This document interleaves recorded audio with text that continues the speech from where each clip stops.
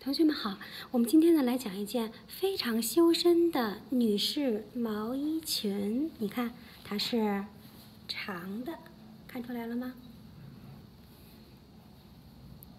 而且中间的这一组花纹啊，是一组显瘦型的花纹，两边是反针，中间是正针，整体给人的感觉啊，这款非常有创意。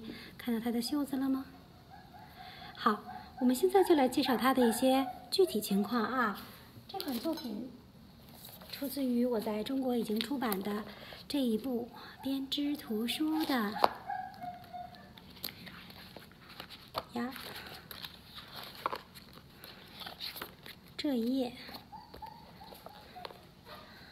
非常漂亮的一款，穿着效果呢也是非常非常的赞。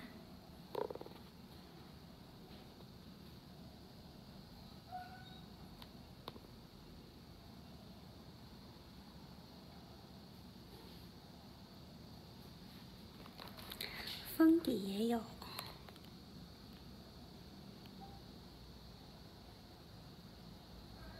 好的，我们现在就来介绍它的相关的编织方法。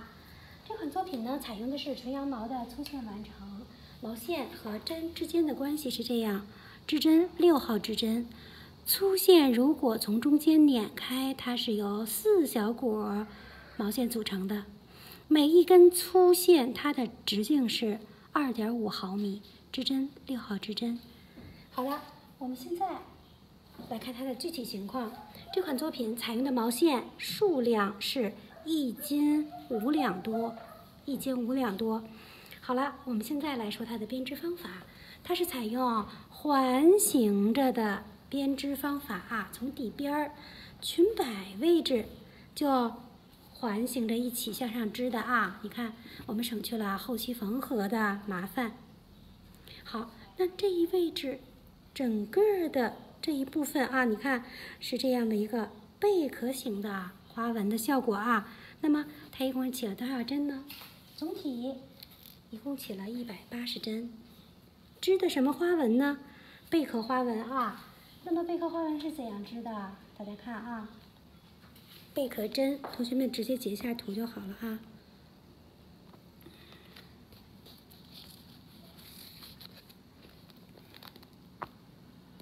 哎，这光线可能是我只能这样这样斜着啊，大家那个谅解一下。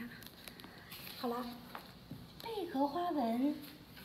起了一百八十针，向上织了一个完整的贝壳花纹就可以了啊！你看，由于花纹的特点，它上边的这两行、这两组啊，锁链针就变成了什么？就像海浪一样啊，涌过来这样的一种效果啊，看上去非常非常的有特点。好，这一部分的贝壳花纹啊，我们往返，我们环形向上，一共给它织了。五厘米，五厘米刚好是这一组完成。好的，完成好之后呢，我们就将整体的花纹给它改织了鲤鱼针。你看，我们这个用的花型啊，都非常有意思哈。鲤鱼针在这儿，同学们自己截图啊。就是这个花纹啊。那么鲤鱼针也是一百八十针啊，我们环形环形向上。一直将这个鲤鱼针向上织了多少厘米呢？我们看，一共织了二十二厘米，环形着啊。从这儿完成第一个之后，改它之后呢，织了二十二厘米。好了，完成二十二厘米之后，我们就要给它在总的针数这儿一百八十针做一个调节。也就是说，我们现在已经来到了这个位置了啊。到这儿的时候，总的针数一百八十针，如果织成正身的话，就有点太多了，所以我们要对它。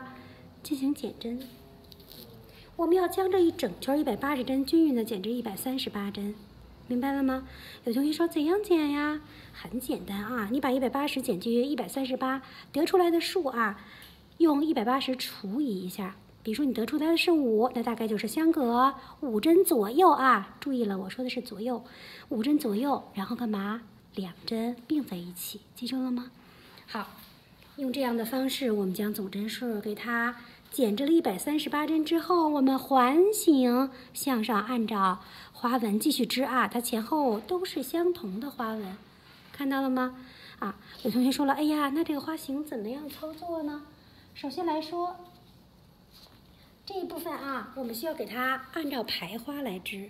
中间这组花纹叫月季叶针，看见正身排花几个字了吗？啊，大家直接把这张图截下来啊。左右各三十八针反针，三十一针的月季叶针分别在正身和后背的部分。好，那么月季叶的这个针法是怎样织的呢？下一个视频我详细为大家讲解，大家准备好截图啊。